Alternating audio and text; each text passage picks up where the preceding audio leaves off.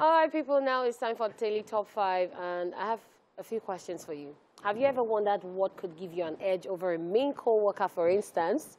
Or what could make you an exciting friend or date?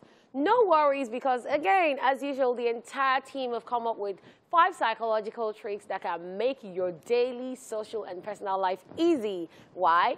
Just because it's Daily Top 5. Five, four, three, two, one. Watch me.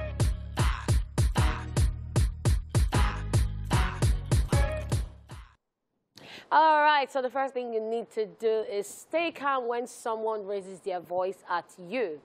Learn the art of remaining calm, stay calm, and don't feed into their anger. Trust me, it can be hard though, because hmm, may God help all of us. So, so try take a mental step back to reassess the situation before reacting. Okay, just try. this is something that I have, I can relate to. Like I have been working on this for the longest, and I'm getting better. I will give you back. Okay, we are supposed to hear psychological traits that we need to learn. So I'm supposed to learn how to do this. Yes. So when I say, oh, Jay, why are you abusing us now? I'll just. Uh, Yeah, you just go. you not be like that's not a man. I'll shout back, but yeah, we shouldn't shout back. It's not yeah. easy. It's not easy At because all. Everybody gets stressed. Yeah. Yes. Everybody gets something with the stress out. Not So disrespect usually you. in that situation, all I do is I Uh. just take a walk. I just Mm. leave that scene. Because if I keep staying there and you're through, I, mean, I have my own stress already. Ah, wahala. Let's just, let's just respect each other. Okay, okay, we'll try. I will try.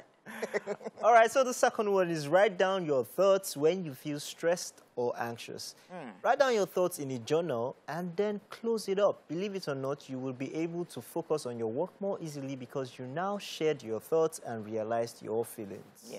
Yeah, writing down thoughts actually helps, especially with uh, people who procrastinate and forget things. Mm-hmm. So when you write down your thoughts, you can move on because you know that you can always go back to check what you wrote down. Yeah. Because at the end of the day, if you move on and you feel like, oh, you're carrying this burden, you're doing something, you can't focus, you're thinking about something else. Mm. But you having it somewhere makes it easier and better for you. I even, I even like the idea that, that it's, it's not necessary you need to have like a, a pad and Yeah. pen to jot something down. You can just jot something. There's your notepad on virtually every Yep. Yeah, all phones right now, so you can just scribble things down and just yeah, just write something. Yeah, that's what I do, Mm-hmm. actually. All right, next thing you can do is uh, to know that the right posture can boost confidence.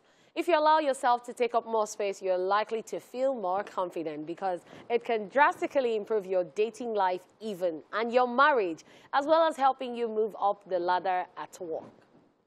Confidence is key. It is. Any day, anytime. In every Always be confident. Yeah, you get the girl that you want. Just How have about his And you get the job you want.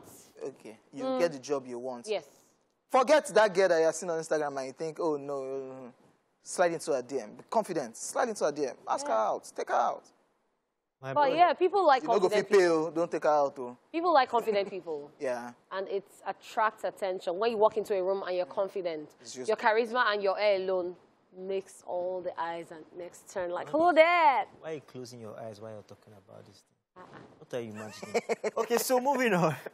Make people feel needed when you ask for help. Hmm. This simply means people like to feel needed when they hate feeling guilty. So by starting off the conversation with, I need your help, please, you are likely to receive the help you need. But some people get coconutted. Even if you say, I need your help, please, they'll say, oh, me too, I need help. They'll not even let you land.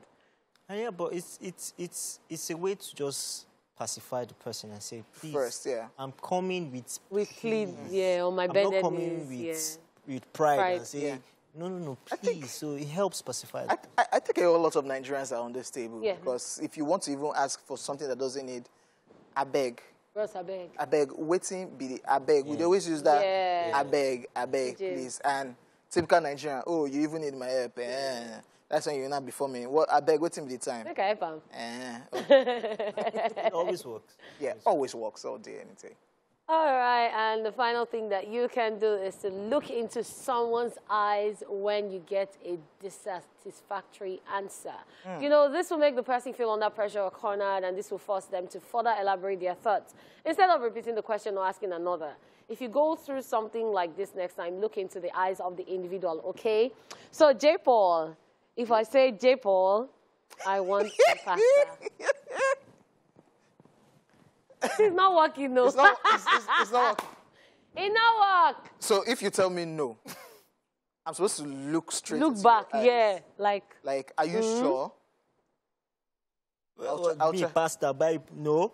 I'm not your boyfriend. it boyfriend. did not work. Oh, hey, who put me with these two men? It did not work. But uh, in some situations, especially when you're not begging, when you need help, like at work and stuff, it could work.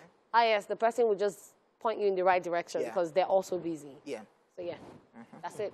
All right, ladies and gentlemen, that's it on Daily Top 5. We'll be back with True Syndrome Monday. Stay here with us.